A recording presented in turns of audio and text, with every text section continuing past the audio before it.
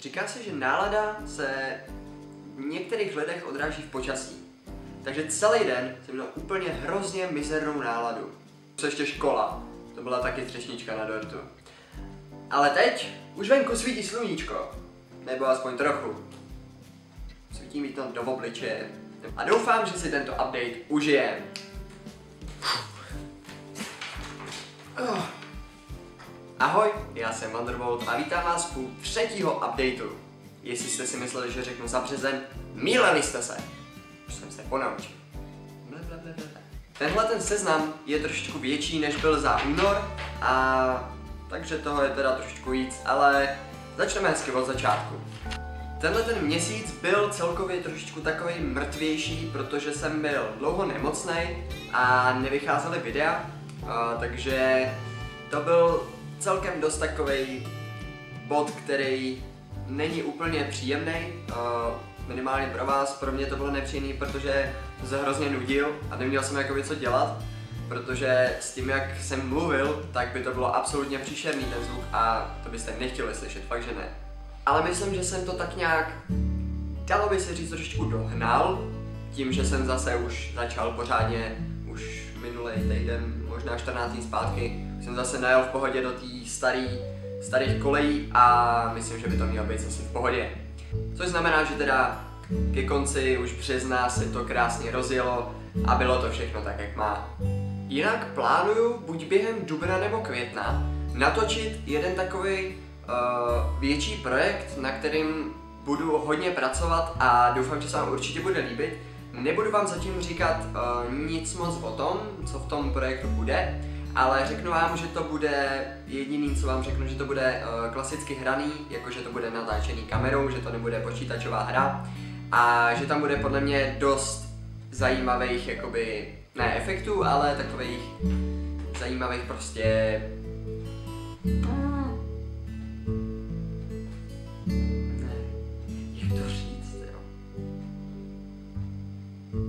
Jednoduše zajímavých záběrů.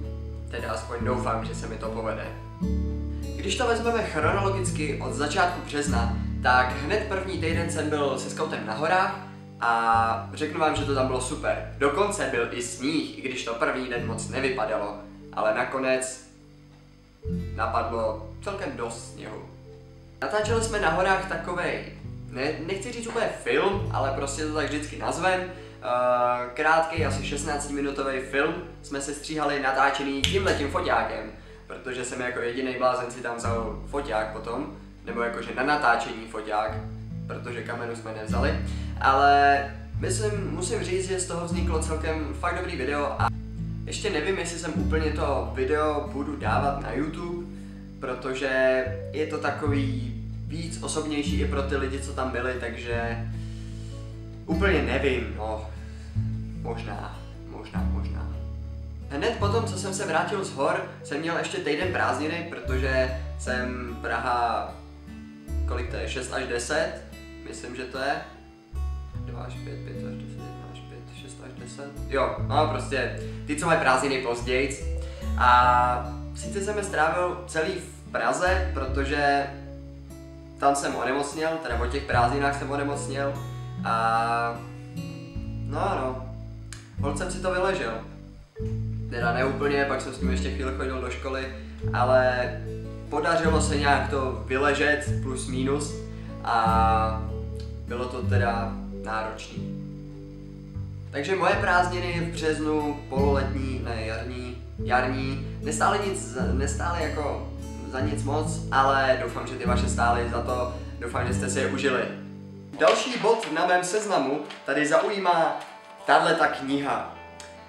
Já youtuber dvojka. Uh, možná i někteří z vás máte, možná máte někteří jedničku. Uh, já jsem si koupil teda obě dvě ty knížky, protože mě jakoby zajímá ten příběh, co v tom je. Uh, tady jakoby v první půlce je ten příběh o uh, Manuelovi Středovi. Manuel, nevím, jak se to skloňuje. Středovi. Středovi. A, asi tak což je prostě kluk, který chodí na základku, byl tam šikanovaný a tak. Prostě a začal právě s YouTubem a celkem se mu daří, což jakoby je to zajímavý příběh, ale má to tam i své zápletky a takový rozuzlení zajímavý. Takže pokud chcete uh, se něco dozvědět i o tom YouTube, protože tady jsou nějaký ty typy a takovýhle tyhle ty věci, prostě tady jsou takové rady a tak, tak si tyhle ty knížky určitě kupte, protože jsou fakt super.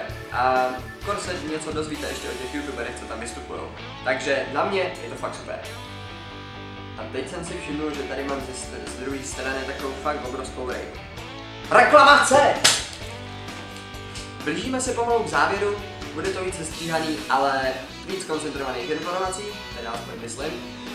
Natáčel jsem, uh, nebo blogoval jsem z dvoudenky uh, na statku, kde jsme byli se scoutem a musím říct, že tohleto se vám celkem líbilo, takže pokud se naskytne nějaká taková příležitost další, uh, kde bych mohl vlogovat nějaký zajímavě zaměřený výpravy, což podle mě není pro mě zase takový problém, protože já většinou foťák sebou mám. Neměl jsem tam sebou mikrofon, takže byl trošičku horší zvuk, pokud jsem mluvil, ale bohužel mikrofon sebou prostě tahat úplně nemůžu z technických důvodů, protože ho nechci zničit.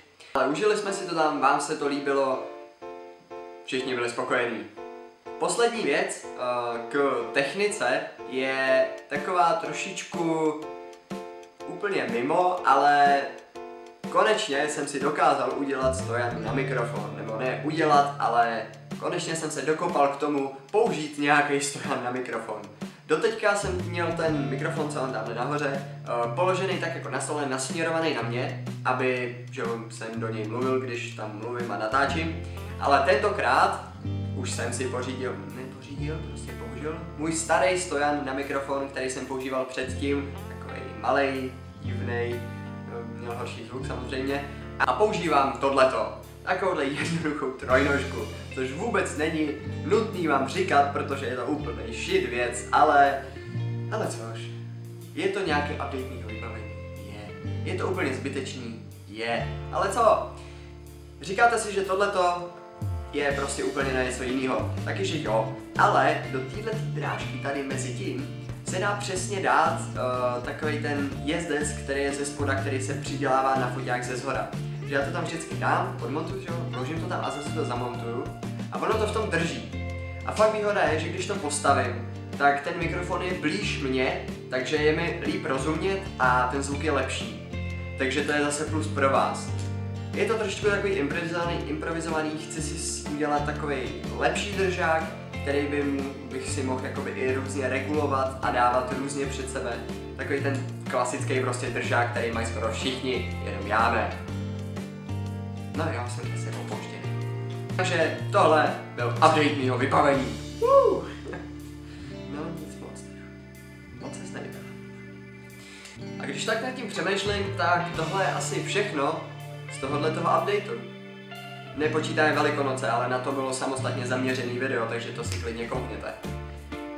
Tak fajn, pokud se vám tohle video líbilo, určitě hojte palec nahoru. Pokud jste neviděli minulý updaty za leden a únor, tak je máte v popisku videa, pokud si na to vzpomenu, nebo je, jsou jednoduše eh, v tom seznamu updaty, takový jako seznamy videí, updaty, tak tam jsou všechny ty videa updateový, takže tam to se můžete mrknout. Pokud mě neznáte a nechcete, aby vám unikly další takovýhle videa, jak vlogový, já tomu říkám vlogový, ale prostě kde jsem vidět, a nebo herní, tak určitě hojte odběr a pokud mě chcete taky podpořit, tak můžete sdílet. A taky jsem na Facebooku, ale tam moc nechodím, tím bych se moc chlubit neměl. Nevadí. Takže jo, mějte se, užívejte si víkend a ještě nezapomeňte nikoho pořádně vyaprílovat. Adios.